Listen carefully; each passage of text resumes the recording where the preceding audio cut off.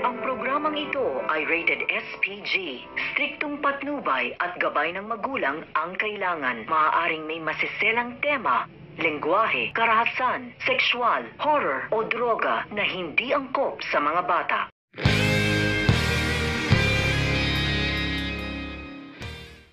Hello, everyone. Thank you for tuning into our show today. Salamat to all who subscribe. What's yours is mine. We start off with is Elise.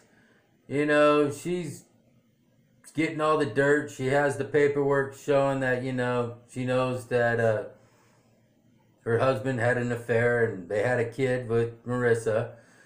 So uh, she's uh, holding a meeting at the office this morning. Uh, she wants all the executives to show up.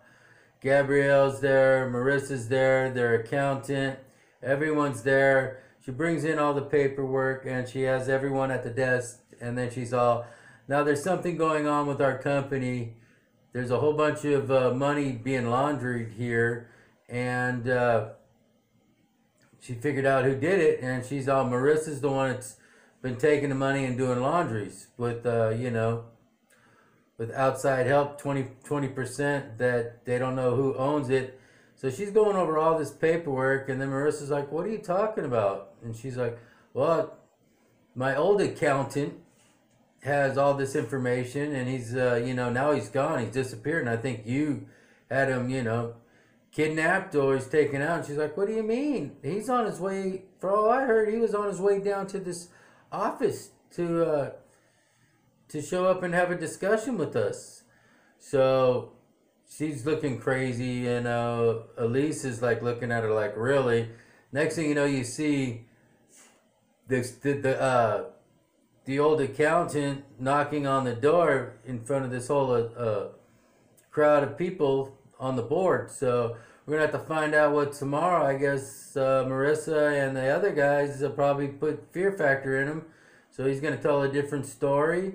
Um, Marissa's mom's talked to the, the pastor, you know, she went to confession and she's telling her what all she knows. So this is getting deep. I think, uh, I don't know if Marissa's mom's going to break and say that she knows about it. Ellice has already told her that uh, Gabriel's parents and family know about it. And, you know, she doesn't know who she can trust. So let's see what's going to be happening in the next few days. I mean,